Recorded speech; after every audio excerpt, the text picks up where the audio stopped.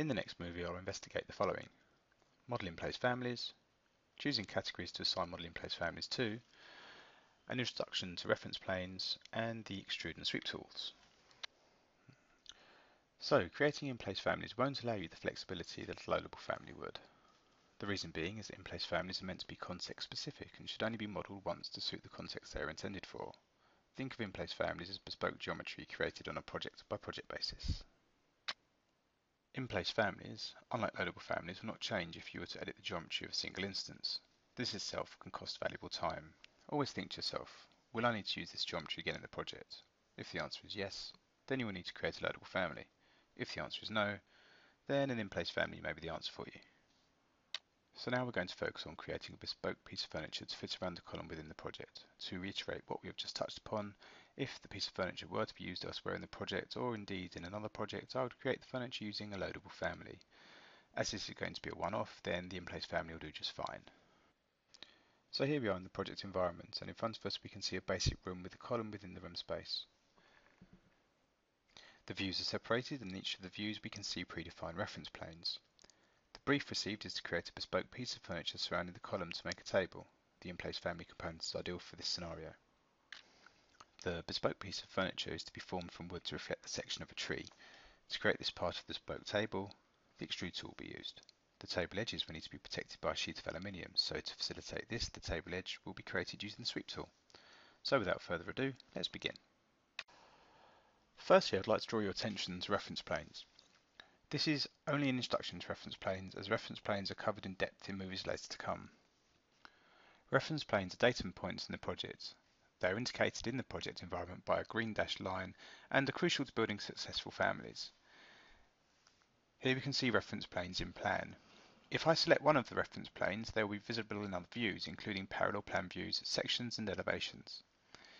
If you can't see a reference plane in a view, then the reference plane is either parallel to the view you're looking at or not passing through the view plane.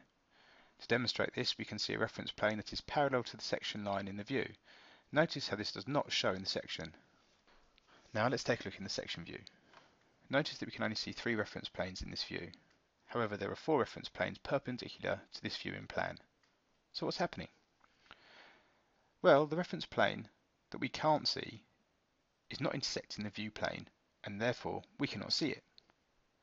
Let's force the intersection to see if it resolves the issue.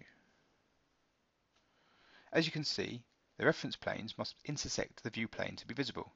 In this case, the view plane resides on the section line. Think of reference planes as infinite datums that can act as hosts for your geometry. In this project, we can see that the table fits between two reference planes. If I flex the reference planes by editing the temporary dimension to, let's say, 150, we can see the geometry updates without having to go back into the extrusion itself. I want to add at this point that reference planes have directions, so be careful when manipulating reference planes in both plan and section views. This will be expanded upon later. So now let's look at creating an extrusion. So what is an extrusion? An extrusion is a 3D solid generated by a 2D profile. A solid or void extrusion is the easiest form to create. You sketch a 2D profile on a work plane or reference plane and then extrude that profile perpendicular to the plane. Before you extrude the shape, you can specify its start and end points to increase or decrease the depth of the form. By default, the extrusion start point is zero. The work plane does not need to be either the start or the end point of the extrusion. You only use it to sketch on and to set the extrusion direction. Now let's create our first extrusion. Let's navigate to the plan view. Now let's create a model in place component. Let's select the correct category that this model in place family should be assigned to. In this case, we should choose the furniture category, as we are creating a table. This will ensure that we can hide the table along with all the other furniture in the project when we turn off the furniture category in the visibility graphics. For AutoCAD users, it's similar to assigning an element to a layer. Now let's give the new component a name. I'm going to call this CABS hyphen wood table. So the first thing you'll notice is that the interface changes to the family editor interface and we now have the ability to create 3D geometry directly within the Revit project. Now let's set the work plane that we want to use to start the extrusion and set the direction of the extrusion. Now let's create the 2D profile by using the Pick Lines tool. Now let's set the depth of the extrusion to 350. Now let's assign a material to the extrusion. Once we've assigned the material to the extrusion, let's finish the in-place model and view it in the project environment. Now let's align the top of the table to the reference line. Now if we flex the reference line by typing in, say, 150 into the temporary dimension, the table will flex. And that's our first extrusion created.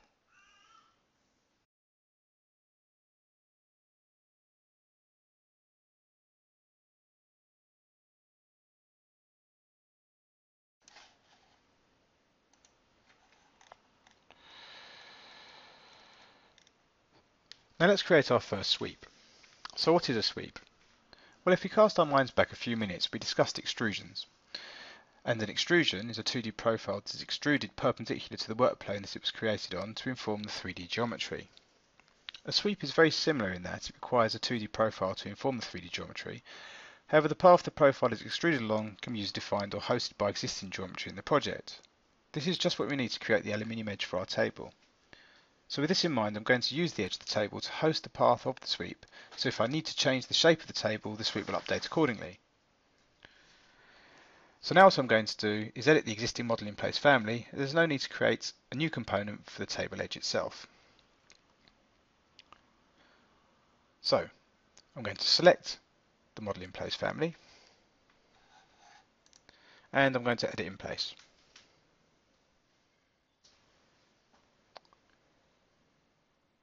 So now I'm going to choose sweep and we have the ability either to pick a path or sketch a path. I'm going to use pick path because I need the geometry to inform the 3D path for me. So you can see here it says pick 3D edges, so I'm going to go ahead and choose the edge of the table. So the blue line indicates the extrusion edge, so I'm going to select the blue line and it should turn pink. There we go. And I just need to be careful that I don't miss anything and there's a little straight edge there, so let's just select that as well. Okay.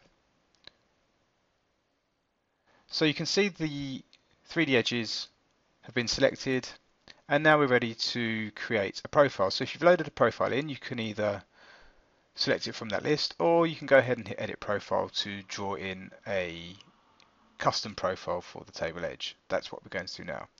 So what we can do is we can use this work plane to sketch our profile, but it can be quite awkward. So what we're going to use is the viewer, which should allow us to draw perpendicular to the work plane. So let's go ahead and choose viewer. And you can see it brings up the table edge and you can see we can draw straight on. So I'm going to go ahead and choose rectangle.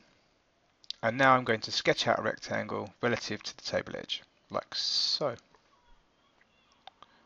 Now that's done, I can close the viewer.